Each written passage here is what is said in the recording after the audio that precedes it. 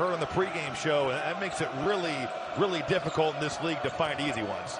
Off to a good 6-2 start. Much better than their struggles here the other day against Ohio State when they got down by 28 and never led in that game. Meanwhile, for the Illinois side, Mayer gets a great open look and he knocks it down. That's a beautiful pass. Team preseason picked second behind Indiana. But right now down six and 0-2 so far in league play. Terrence Shannon fighting Mayer. Mayer finishes. Having four against Bethune-Cookman. Mayer drives. Uses the pivot foot beautifully. Just a Buie, long range, no. And Illinois, they seem to be playing with a different sense of urgency.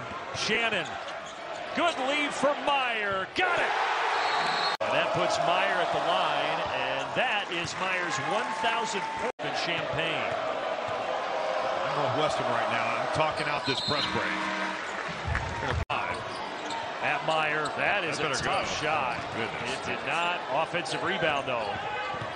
Epps to Hawkins. Back out to Mayer. That one he knocks down. And Mayer gets the free here on Big Ten Network. Mayer 17 points, so he's